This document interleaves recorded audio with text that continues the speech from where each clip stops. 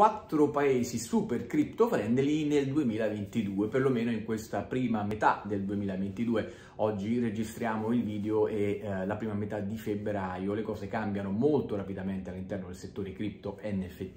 che vedremo poi in seguito. Uh, quello che sto per dirvi però è validissimo al giorno d'oggi e rimarrà valido per tutto il 2022. Sicuramente ci saranno però delle new entry. Uh, quali sono questi quattro paesi che voglio regalarti in questo video rapidissimo? Te lo dico tra un secondo, se hai la pazienza di aspettarmi dopo la sigla.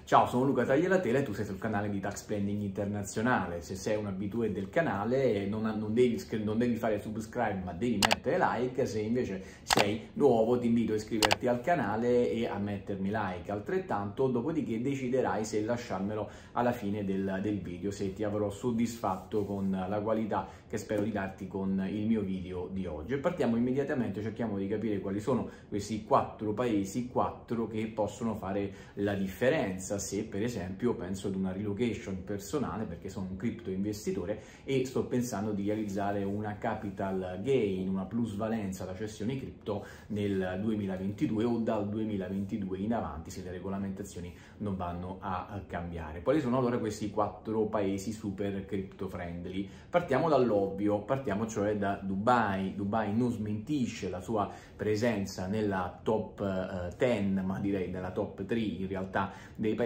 crypto friendly. Che cos'è un paese crypto friendly? È un paese dove non solo non sei costretto a pagare tasse sulla plusvalenza da cessione o da conversione delle cripto in altre cripto o anche nell'acquisto di beni materiali, ricordiamo che molti paesi ti tassano anche se con le cripto compri beni o servizi, anche quella è considerata una realizzazione, un evento realizzativo ai fini della tassazione. Per cui facciamo molto attenzione, molti dei miei clienti mi chiamano Luca ho incassato in cripto, allora non ci pago le tasse. Non è così, bisogna distinguere l'investimento in cripto dall'incassare ricavi o determinate fattispecie reddituali in cripto, ma questo è diciamo un consiglio che volevo regalarti. Torniamo a Dubai, perché Dubai è interessante, interessante importante non soltanto e unicamente perché chiaramente non c'è tassazione a livello personale nell'eventualità in cui vado a realizzare capital gain, ma soprattutto è interessante per due motivi principali per quanto mi riguarda, cioè per l'environment che si è creato, quindi investitori cripto da ogni parte del mondo e hub cripto che si stanno sviluppando sul tema, free zone dedicate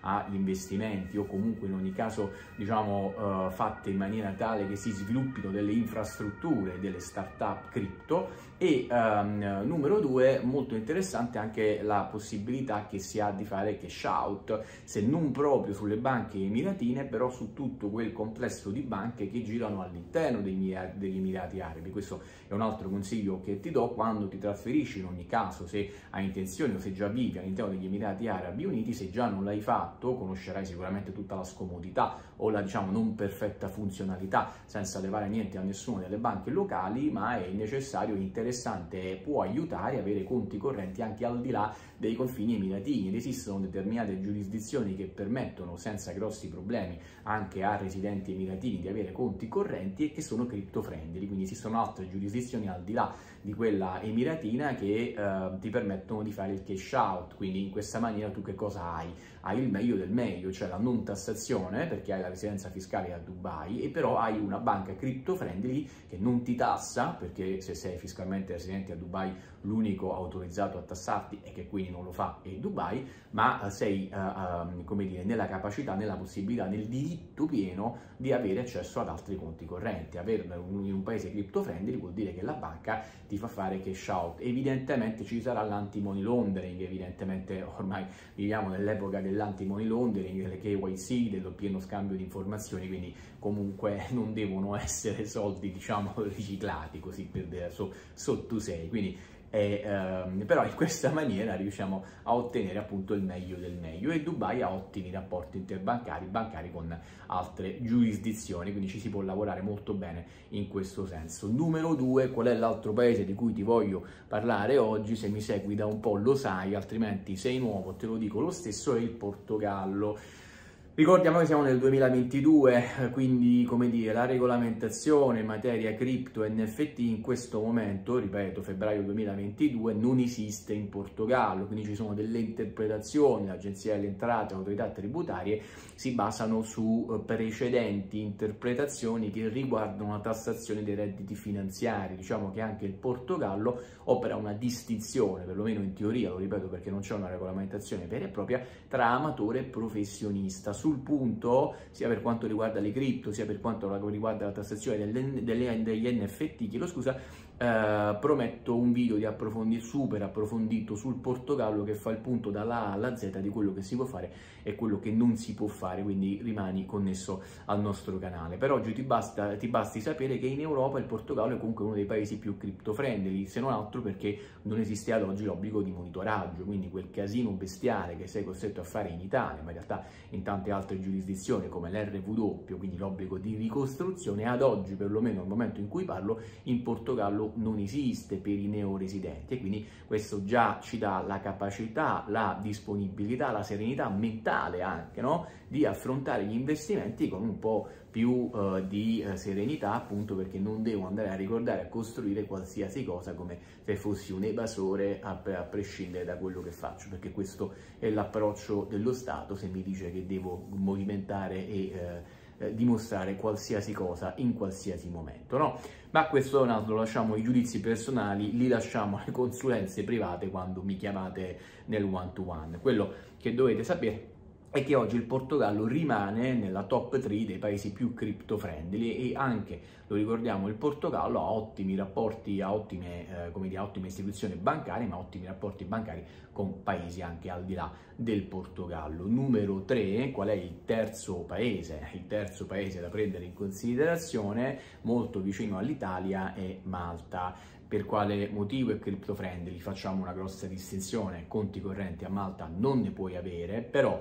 se sei un investitore di lungo periodo e quindi non sei uno che trada del day by day, non fai diciamo speculazioni di breve periodo, di breve periodo Uh, le plus, le, i capital gain da, da cripto non sono tassati, quindi sì lungo periodo, nel senso che non ho tassazioni se è un po' quello che avviene in Germania fondamentalmente, nel breve invece subisco una tassazione che poi è eh, quella progressiva da redditi personali che va dal 15 al 35%, ok? Quindi Malta è un paradiso fiscale a metà, diciamo che è crypto friendly a metà. Ci sono anche tre ATM, curiosità diciamo del, del giorno, tre ATM Bitcoin, tra cui uno solo sull'isola di Gozo. Io ho anche qualche cliente che se mi sta ascoltando mezzo matto che vive sull'isola di, di Gozo e vive felice, quindi lui tra l'altro essendo un investitore può andare a questo ATM e del resto me l'ha detto lui che c'era, altrimenti io non l'avrei saputo. Ok? Il quarto paese, diciamo, lasciando per un momento l'Europa senza arrivare, diciamo, senza fare video super lunghi,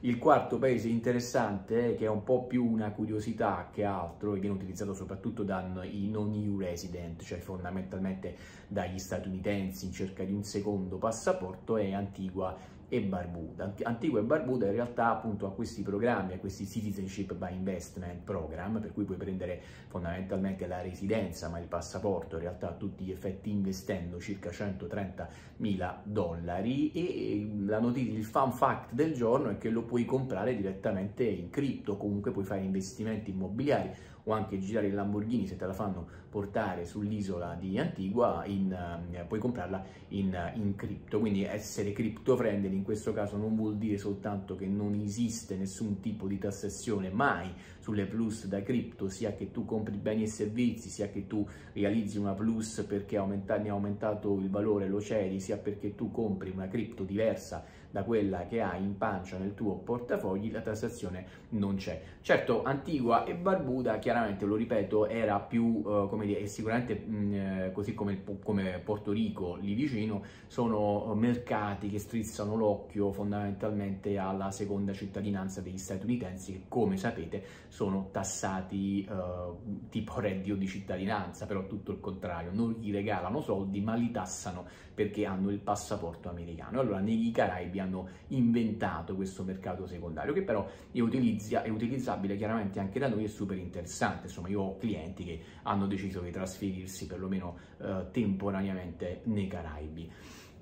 la chiudo qui, eh, spero che eh, questo contenuto ti sia piaciuto, se non l'hai fatto di nuovo ti invito a iscriverti al canale, a lasciarmi like, per una consulenza trovi il link in descrizione, noi ci ritroviamo nel prossimo video.